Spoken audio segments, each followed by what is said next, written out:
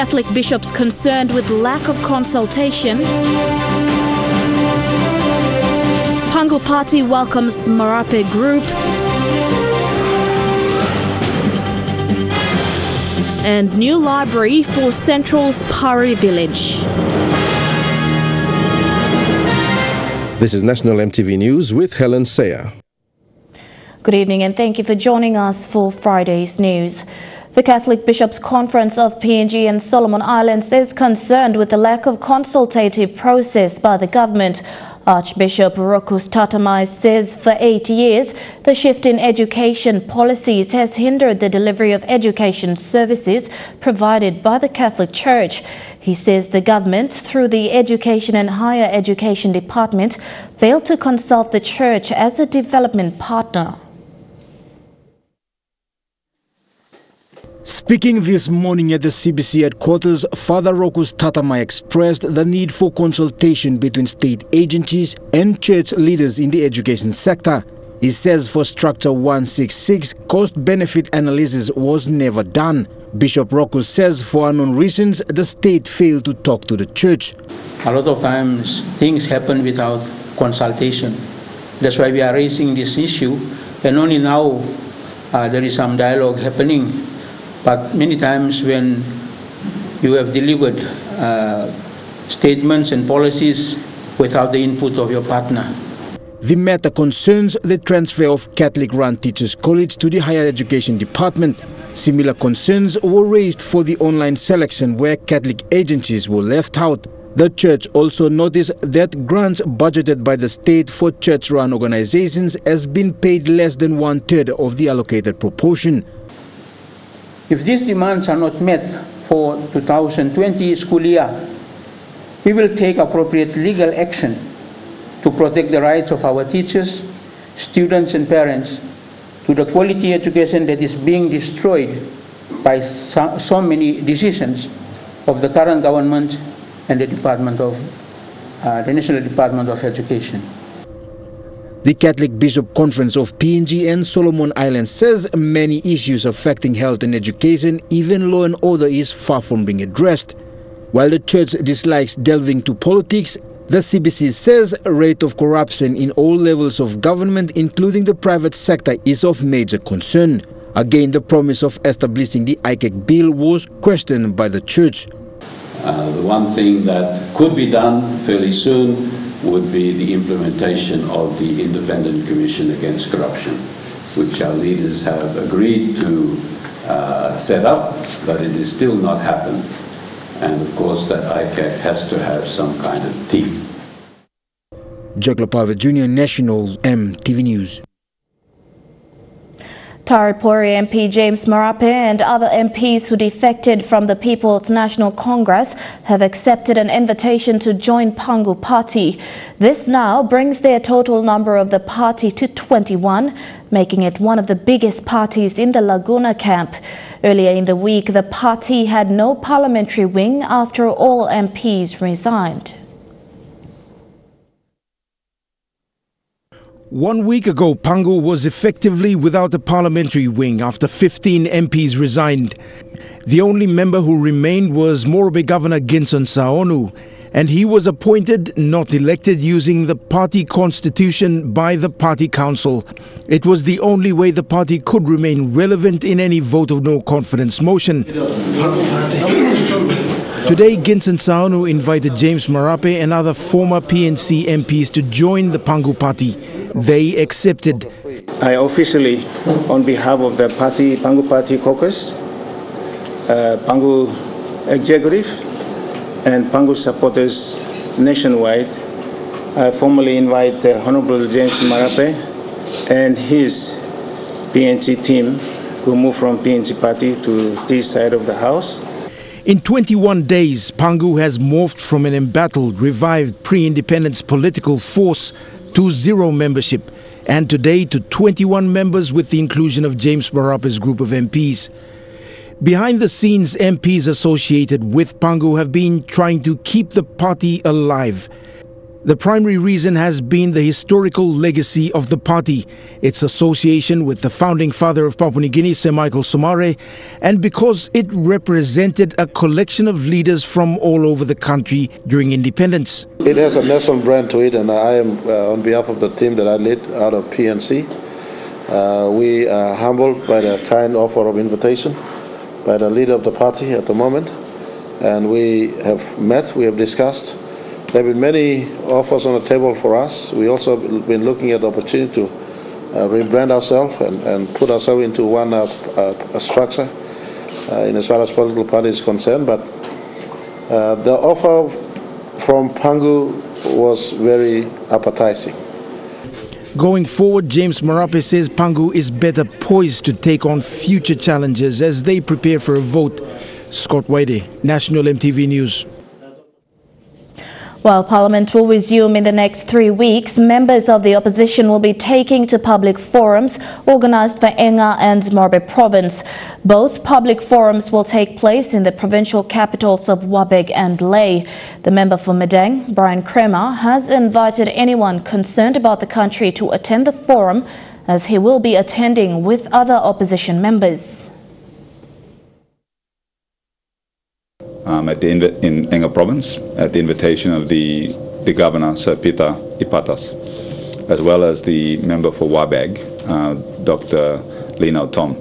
So that is on the 17th, uh, Friday the 17th, which is next Friday.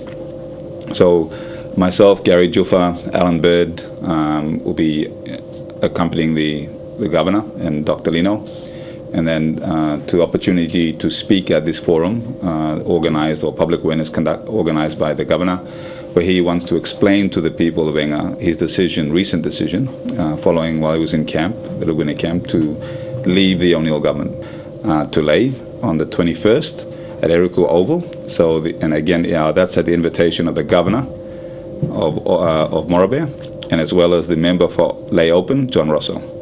So we're now calling all Morabians throughout PNG and abroad and in, from Morobe, as well as residents of Lae, um, to turn up to that event. I've asked for the governor to see if he can declare a public holiday for that day so everyone can come and actually spend the time, bring their families, and hear the issues because politics decides everything price of bread, medicine, hospital, roads are fixed, schools, everything. And it's about their kids at the end of the day. That's what we're fighting for. The National Court has ordered a halt to the Wafi Golpu project until all matters relating to the signing of the project Memorandum of Understanding are heard. The decision also bars agents of government like the Mineral Resources Authority or MRA from conducting any forums between landowners and other project stakeholders. The application for leave for judicial review was sought by lawyers representing the Morobe provincial government. The provincial government went to court after the project MOU was signed in Port Moresby despite their opposition.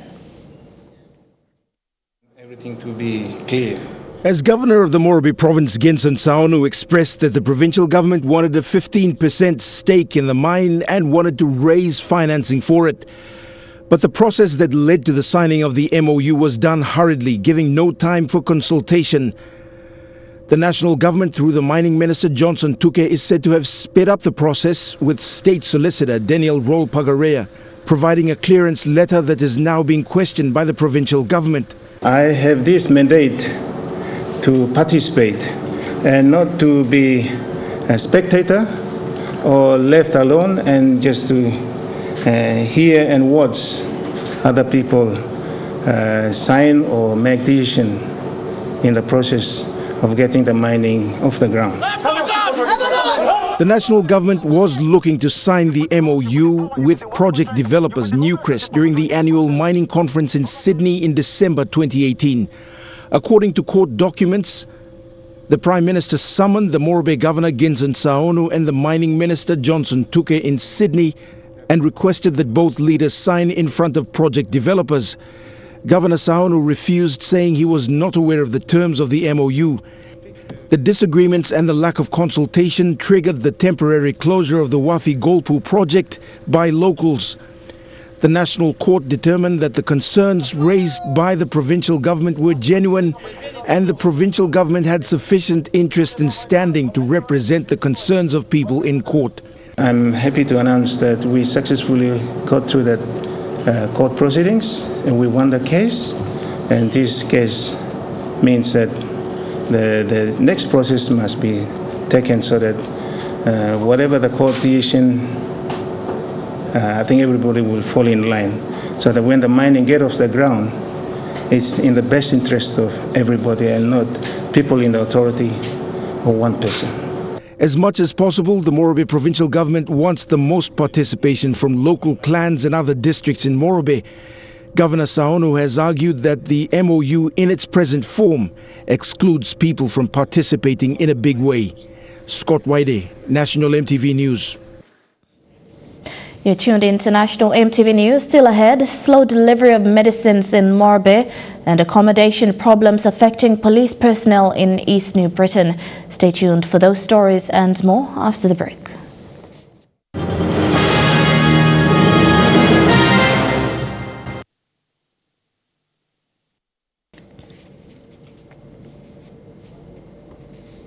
Welcome back. A Baptist-run health centre in the Obura Woninara district of Eastern Highlands province waits for almost six months before they receive their medical supplies. The Owena Health Centre of the Lamari local level government is the only health centre that serves almost 8,000 people.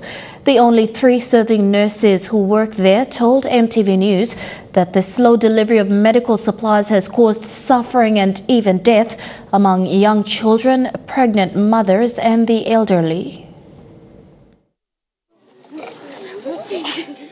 This health center is located in a remote area of Lamari local level government in Obura Woninara district, Eastern Highlands province. It's the only health center in Owena village that serves almost 8,000 people. There are also four aid posts operating there with limited medical supplies. The only three officers working at the health center said they wait for almost six months before they receive their medical supplies. Sampla planti mo marasine mi plano gat le allo helpim. The government spends over 80 million kina each year to contractors responsible for the supply and distribution of medical drugs to hospitals, health centers and aid posts throughout the country. The Borneo Pacific Pharmaceuticals Limited is the company contracted by the government to supply medical drugs for health centers like Owena. LD Logistics is the company contracted by the National Department of Health to be the national distributor of medicines and medical supplies to hospitals, clinics and rural aid posts. The health officers of Owena Health Center say the delivery of their medical supply is very poor. Em em em. Also kam na chekim nogat em ol stab na mipla tu mipla stab na samla tay mosem. Nogat marasin so sigman sak simbagarab. Na tay marasin kam na mipla sa help mol go tay mem go finish na mipla wokman tu mipla stab ta so look out im center. Stab ta na luk luk na emergency o disla kay na mipla give him call out law office or la line law. Give him help him so also look look so now em. Had marasin so me place stop chon eh, look look na. According to the health officers, infant and maternal issues have been a concern for almost nine years. There are no basic drugs such as painkillers and antibiotics. The health center doesn't have a sterilizer to clean the medical equipment. no no gat wambla sterilize in photo wambla sterilize lo mibla ba sterilize mol something. Na em nil stock straight em no gat so one mibla you see me mibla just go you see him chol rinse him one time soap or oh, mo na mibla go back na you see na. During a medevac to Owena village in Obura Woninara district on Tuesday by Manolos Aviation, the Lae-based helicopter company donated two boxes of basic drugs that were bought in Germany to assist the health center. Julie Badui, OA, National MTV News, Lay. Labubutu aid post in Huon Gulf district has been closed since 2016. The aid post serves a population of over 3,500 people. Since its closure, people have been traveling to Lae to seek treatment. Labubutu in the Wampar local level government is a 15-minute dinghy ride from Lae. Sick patients spend about 10 kina plus additional medical fees on a daily basis to travel to Lae and back. Ward Councillor Sam Yabong says the closure of the aid post is due to issues with housing for medical officers.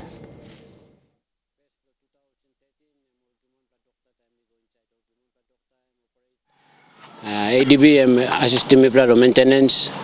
Ausig am operate. Doctor am working on I blood doctor am bakarap.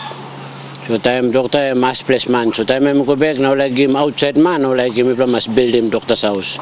So now yet me plan build doctor's house yet to complete na doctor bakam down them. East New Britain police are facing a shortage of police manpower prompted by accommodation scarcity. During a police parade today, Provincial Police Commander Senior Inspector Joseph Tabali admitted to his men and women that accommodation remained one issue that they have been trying to fix for many years. Tabali says Kokopo town is fast developing, but not the personnel under his command. Like anywhere else in the country, police personnel in East New Britain province have their own stories to tell. Most of these stories are about accommodation problems that have plagued them for a very long time. This is one of very few times that the head of the police in the province, Senior Inspector Joseph Tabali, finds time to talk to his men and women collectively. And amongst many issues facing the police in the province, Tabali told his staff that accommodation and mobility problems to respond to crimes are issues that have remained unchanged in recent years. I need more manpower. Uh, but the thing is, accommodation, it's a problem again. And I have approached the provincial administrator, administration, and even uh, uh, the police minister, uh, Honorable uh, Jelta Wong, um, he assured me that he's going to uh, provide accommodation for policemen up at uh, Gazelle district. And I'm looking forward to that. For the PPC, it is hard work managing a team of police officers who rent their own homes and come to work every day. Officers' absenteeism is common and when coupled with other issues like shortage of staff, it is already a burden for the Provincial Police Command. We've got 200 plus manpower currently on the ground. And you're looking at the population of Eastern Britain province, uh, Eastern province alone, it's about uh, 200,000 plus, nearly 300,000, which uh, we need more policemen uh, here in the province. The ratio is 1 to 1,000 plus, that too many uh, police officer, one police officer cannot deal with 1,000 plus. Since 2012, numerous proposals have been made to build more houses for staff and improve mobility and communication for the police in the province. All these were based on a proposed police modernization program that will cost the state about 270 million kina to address all the issues facing the PNG Royal Constabulary, but that is yet to eventuate. In recent years, Kokopo is slowly developing from a town into a city. Businesses have expanded and more are poised to happen. A large influx of people are coming in to live and work here. But what is more worrying is the policing of the town. And with the current issues on hand, effective policing of the city will remain a lingering problem. Edwin Fidelis, National MTV News, Kokopo. Pari Elementary School in the Motu Koitabu area in the nation's capital will now have a new library for its children. The library is an initiative of the Motu Koita Assembly in partnership with the Bukbilong Pikinini Library. At the groundbreaking ceremony today, Motu Koita Assembly Chairman Dadi Toka Jr. said the library will play a big part in the children's education. Pari Elementary School is in the Motu Koita area of the nation's capital. The groundbreaking ceremony today saw children and parents attending to witness this exciting development in their school. The construction of the library is funded by the Motu Koita Assembly under the National Capital District Infrastructure Budget and will be managed and run by Bukbilong Pikinini Library you know, we believe that uh, um, uh, you know having a library is, is imperative to any school. Um, so it's very important to, to have a, a, a school open, uh, sorry, a library open up here. So we've gone into partnership with Book, Bukbilong Pikinini, um, um, and uh, we will be constructing the, the, the, the, the library and Bukbilong Pikinini will be uh, running the library. Education and health is a priority area the Motukoita Assembly is focused on since being in office seven months ago. And the library in Pari Elementary School will be an opportunity for children to read books at an early age. Motukoita Assembly Chairman Dadi Toka Jr., when speaking at the groundbreaking ceremony, encouraged the children to read more books as it is good for their future. Um, so it's a very good partnership, one that's worked um, uh, uh, throughout the country, and, and, and I'm very happy to announce that we, um, you know, this partnership will now be seen not just at Pari, but through Hagara and to other Motukoita schools um, in the nation's capital. The chairman said there are plans to partner with the Bukbilong Pikinini Library to build more libraries in other elementary schools in Motukoita.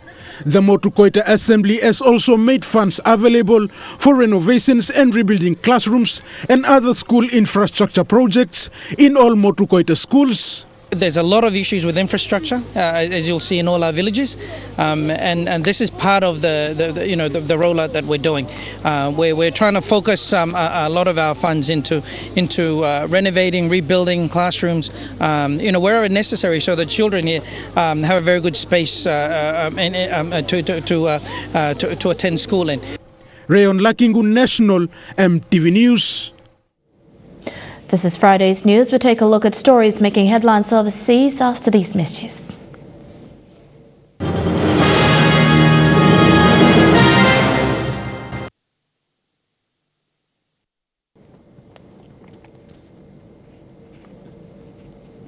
Welcome back to the news. Turning overseas now, just days after becoming a dad, the Duke of Sussex travelled to the Netherlands on Thursday to launch the countdown for the next Invictus Games. As CNN reports, it's a project close to his heart. No rest for this royal. Prince Harry was back to work Thursday with a quick trip to The Hague. Tearing himself away from Master Archie after just three and a bit days cannot have been easy. But in many ways, this is one of Prince Harry's professional babies. He created the Invictus Games in 2014 for a cause that he is really passionate about the welfare of servicemen and women. The Prince spent a decade in the army as Captain Wales, taking in two tours of Afghanistan. When he left, he saw a way he could continue to make a difference. I'd seen firsthand the transformative power of sport in helping people physically and psychologically recover and knew that the Invictus Games would change lives, capture hearts and inspire a generation. The Invictus generation and the Prince himself inspires many in his visits. Yeah, Prince Harry took a lot of time for us actually. Uh, he was very interested in, uh, in my story and also uh, what my goals are for next year and the sports that I'm competing in. There have been four Invictus Games so far. London, Orlando, Toronto and Sydney. Athletes representing the Netherlands have competed in each one. The fifth Invictus Games will take place here in Zuiderpark in The Hague, exactly one year from now. And in true Dutch style, His Royal Highness took to a bike to see how the preparations were going. We chose you for a reason, and it wasn't just because I liked the colour orange. Thank you all for guarding the Invictus spirit, and see you in 2020. Princess Margriet of the Netherlands joined the launch event, proud to be a part of it. It's very important for the people involved and I think for better respect and understanding. And while Master Archie may have been hundreds of miles away, he wasn't far from everyone's thoughts. Receiving a special Invictus onesie, although he may need a bigger one soon. Your Highness will Master Archie be coming next year? Terry, can I please have a selfie? They'll have to check on Archie's diary. There's no doubt, though, a visit from the royal family's littlest would make for an extra special Invictus Games in 2020. An award winning presenter on BBC Radio has been fired after tweeting about the Duke and Duchess of Sussex's baby. The post, which included a picture of the couple holding hands with a chimpanzee, has sparked accusations of racism. As the press arrived at Danny Baker's house this morning, he opened the door to reveal he'd just been sacked. The conversation had not been cordial. So, by mutual agreement, terminate. The reason? This tweet. A vintage photograph of a couple, and we're not showing the full image, but between them was a chimpanzee dressed in a coat and a bowler hat, and a reference to the royal baby. Uh, Remember, we take all those arguments on board. Of Danny Baker says it was a mistake. He deleted the tweet, and it was not a comment on the Duchess of Sussex's African American heritage. But many feel it was unforgivable. Among them, a fellow presenter on a Five Live podcast. When I saw it, I was shocked, genuinely shocked, disgusted. How someone thought that was acceptable was beyond me.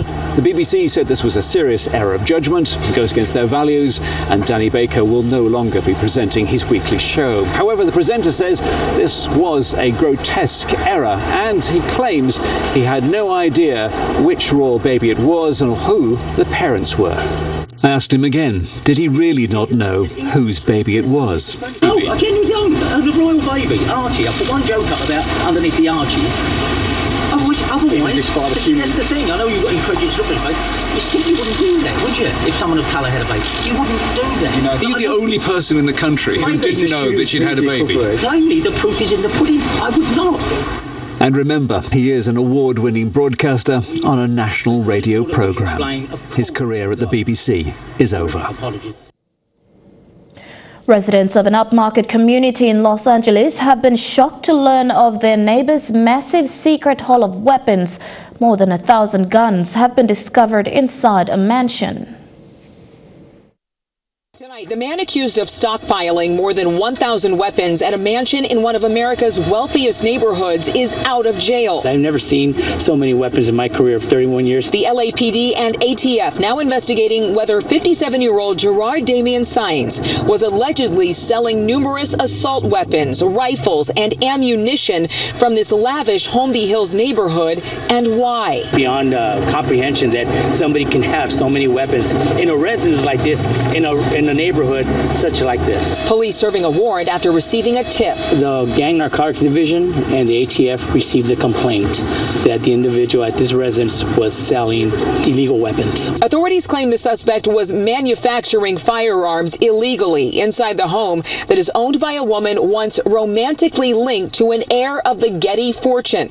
Neighbors tonight in shock. We were surprised, and I have kids. You know, I have two kids, and it's kind of scary.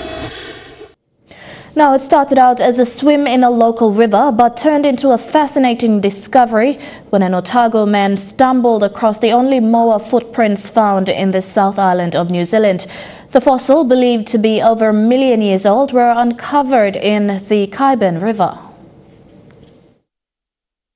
There goes the moa, and here's the mark it left behind. It's just astonishing to think of a moa just walking through some muddy sediments, you know, going about its business, slightly turning right, you know, and I think other people should see that because the moa holds a special place in New Zealand, New Zealanders' hearts.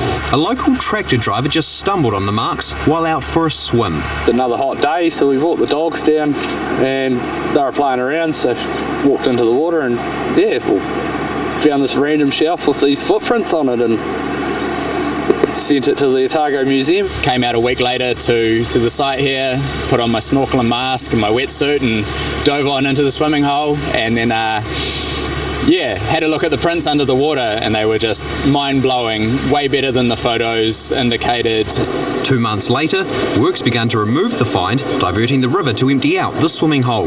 They weren't going to last here. If we see a fossil on the surface like these, it's almost gone. So I think the outcome here, great, great potential outcome. Prints are roughly 30 centimetres in length and 30 centimetres wide. All up, there are seven of them, estimated to be more than a million years old. Experts believe the prints may have come from a bush or upland moa. The angle of the prints, the distance between them, the depth of them, we'll be able to calculate the weight, the stride length. This will help us get a better picture of what that bird was like when it walked across that silt all those years ago. Using a masonry saw to preserve the tread in 3D, one print was removed this afternoon. It'll be treated to make sure it doesn't crack and end up in the Otago Museum. Not really much of a museum goer, if it's to be perfectly honest, but uh, if it's got my name on it, I better go have a look. With the footprint and the moa's call that Te Papa's been able to recreate, this long lost bird is just a little bit closer. Stay tuned, we'll take a look at some sporting action in Chukai Sports coming up next.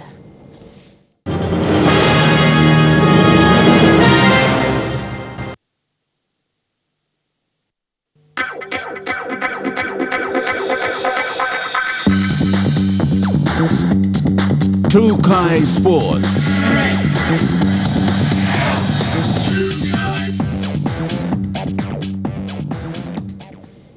Welcome to Chukai Sports.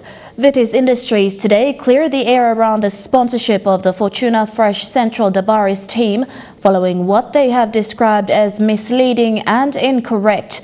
Sponsor and Vice Chair Lady Vicky Mossin today said yesterday's press conference called by other board members was uncalled for and that such matters were only meant to be discussed as an internal matter by the Dabaris board and management.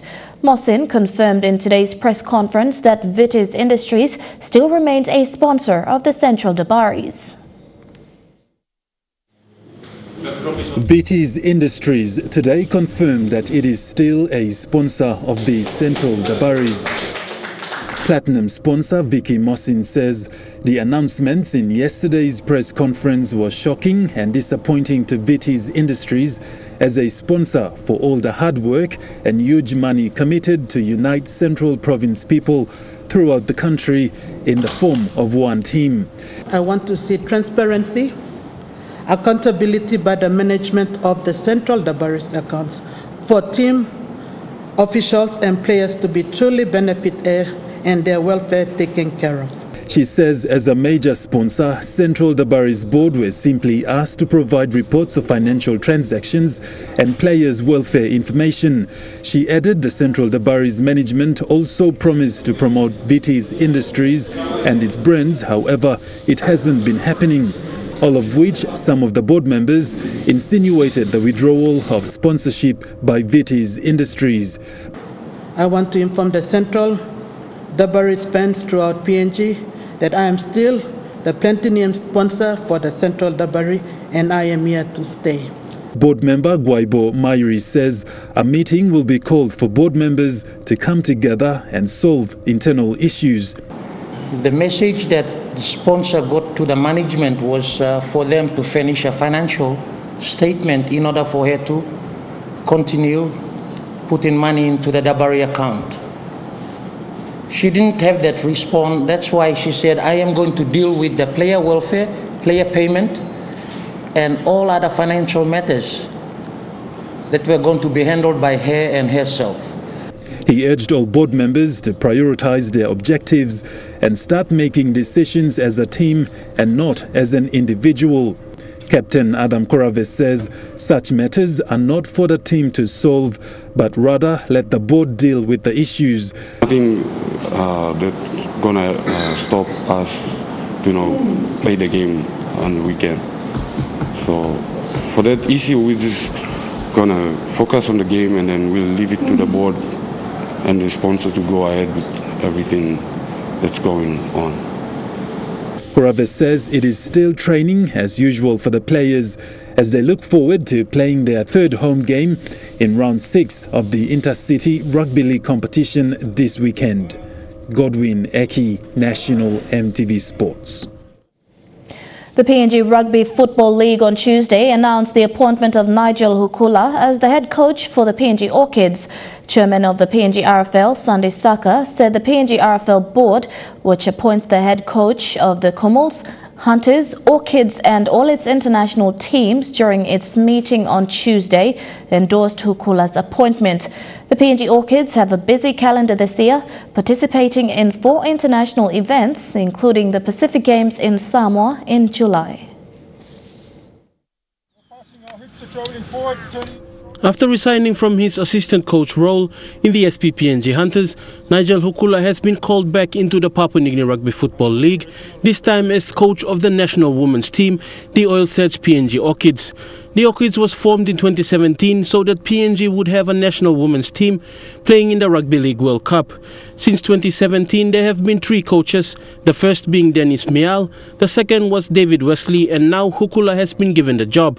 His first order of business is preparing the team for their first match this year on June 22nd, where PNG will play the Fiji women's team. Hukula, speaking during the FM 100 Talkback show, stressed that development was key to achieving consistent performance at the international level. Consistency on the uh, international stage is a um, something that we're looking to maintain. But uh, in saying that, also uh, development is a, is a great part of what uh, I would be looking at um, to to have a basis for all those young girls coming through who want to play this code. With only two years of active international competition, the Orchids still lack the depth. With no wins from their World Cup campaign, their last outing was in 2018 when they lost 48-14 to the Brisbane Broncos women's team. It's a four or five year process to get that athlete to that um, physical and mental state that you'd like. So that's where that development aspect comes in. But look, if there's if there's anyone in another code that um, would like to have a go or um, uh, we think uh, would be good for our code, then we'd have a look. Hukula, who is keen on development for the growth of the women's game, will be looking to build a team over time. From the local competitions, you get to your um, confederates and confederates to national championships. So the national schools program also mirrors the same concept. And um, in, in regard to development, that's where we'd be looking at uh, helping to uh, progress and and move forward the girls' game through the national schools program as well. To the left, and little chip uh, grab a kick pull through. Hukula's chasing through. He ends up grounding the football down. Hukula is Kumul number 206 and debuted against the Australian Kangaroos in Port Moresby in 2001. He was the assistant coach to the Goroka Lahanis from 2011 to 2012. Hukula was the assistant coach to the SPPNG Hunters from 2016 till March this year. Fidelis Sukina National EMTV Sports. Trukai Sports continues after the break. Stay tuned.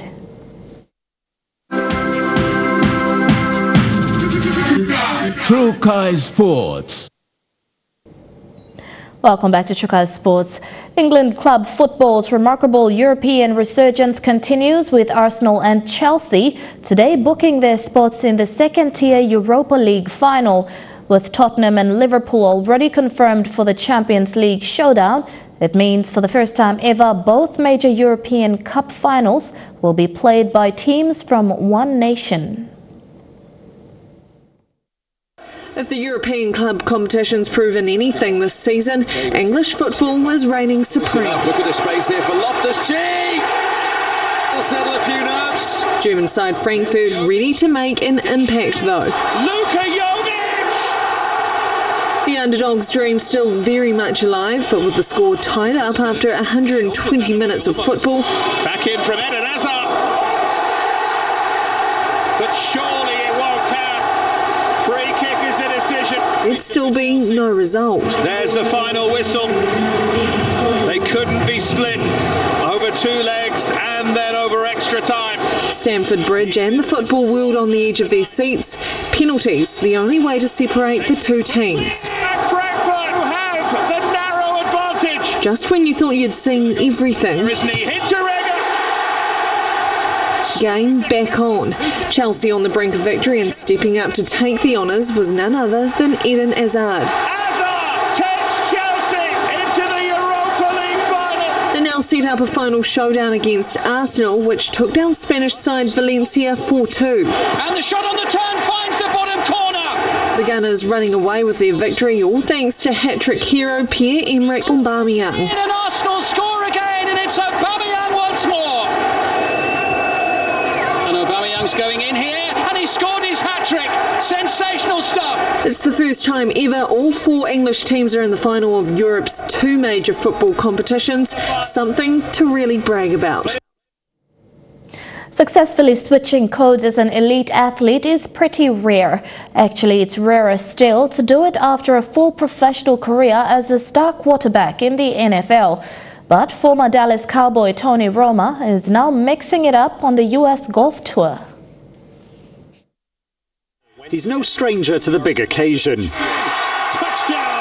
Romo comes in and Romo scores. And now former Dallas Cowboys quarterback Tony Romo is scoring again. He's got 3 and 18. That is in. Touchdown. Yeah, he's had that kind of reaction before. Playing in his third PGA Tour event, courtesy of a sponsor's exemption, but this time at his home course of Trinity Forest in Dallas, Texas, where local knowledge was on his side. Forest, and he walks in a birdie putt at number one. An eagle chip at the seventh, making a mockery of his 10,000 to 1 odds. Romo showing the short game of a three time major winner. Literally. That's probably one of Jordan's rusty wedges. Yeah, it is as well. The club handed down from good friend and fellow Texan Jordan Spieth, who maybe should have held on to it. And there was a time when Spieth's wedge was accompanied in the bag by a putter belonging to a certain Tiger Woods. But Romo today showcasing his latest putter along with his latest technique.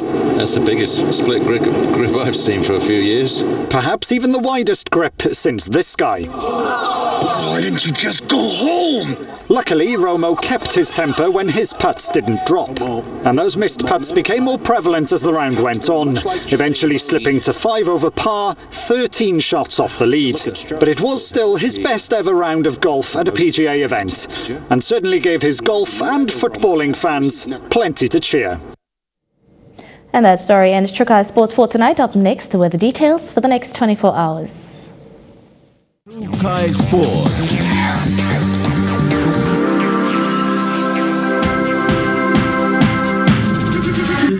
Trukai Sports.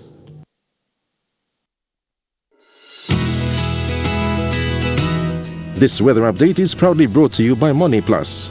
With you always.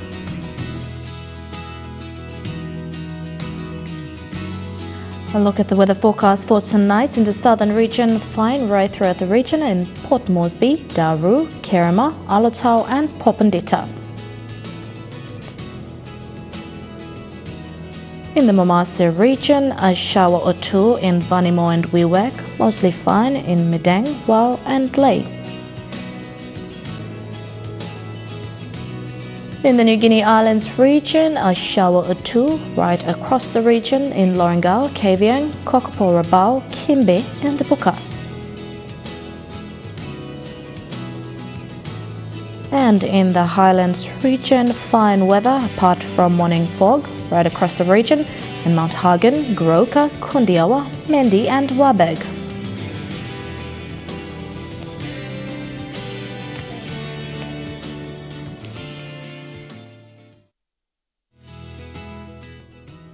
This weather update is proudly brought to you by Money Plus.